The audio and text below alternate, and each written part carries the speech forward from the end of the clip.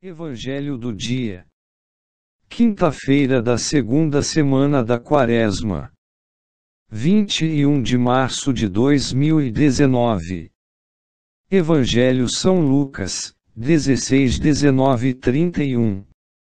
Tu recebeste teus bens durante a vida, e Lázaro os males, agora ele encontra aqui consolo, e tu és atormentado. Proclamação do Evangelho de Jesus Cristo, segundo São Lucas, 16, 19 e 31. Naquele tempo, Jesus disse aos fariseus: Havia um homem rico, que se vestia com roupas finas e elegantes, e fazia festas esplêndidas todos os dias.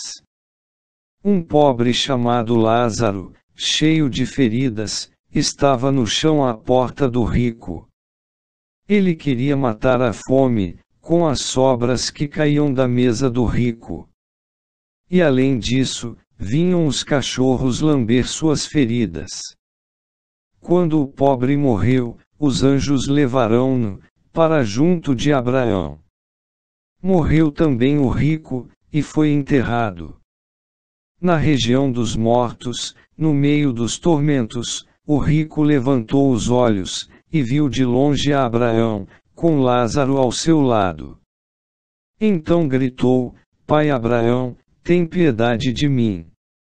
Manda Lázaro molhar a ponta do dedo, para me refrescar a língua, porque sofro muito nestas chamas.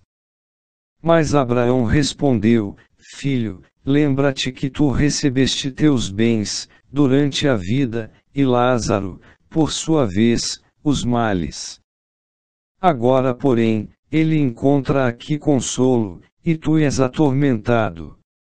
E além disso, há um grande abismo entre nós, por mais que alguém desejasse, não poderia passar daqui, para junto de vós, e nem os daí poderiam atravessar até nós.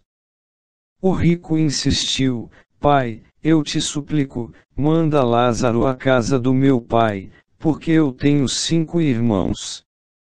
Manda preveni-los, para que não venham também eles, para este lugar de tormento.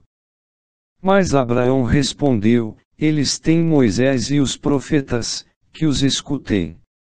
O rico insistiu: Não, pai Abraão, mas se um dos mortos for até eles, certamente vão se converter.